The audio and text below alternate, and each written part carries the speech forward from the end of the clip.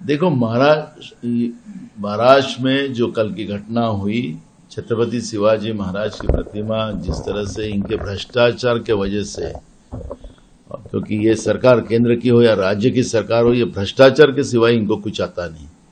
और ये भ्रष्टाचार के वजह से महाराष्ट्र के दैवत छत्रपति शिवाजी महाराज का भी अपमान, अवमान, विचारों का अवमान करने में ये लोग कदापि पीछे नहीं रहे।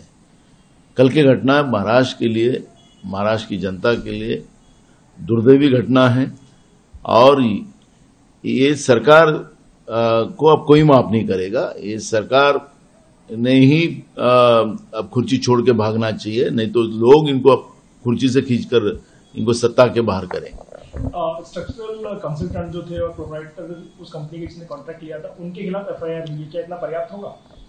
सरकार के ऊपर एफआईआर होना चाहिए।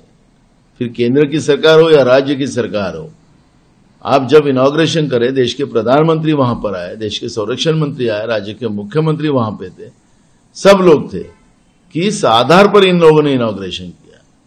अगर वो कॉन्ट्रैक्टर जितना जवाबदार है, उतना ही ये जवाबदार है, क्योंकि इनको भ्रष्टाचार से पैसा इन लोगों ने लिया है। तो ये जिस तरह से वो जो प्रतिमा गिरी, उसके फ़ोटोज़ बाहर आए, शिवाजी महाराज का सर अलग उनके हाथ अलग, पैर अलग।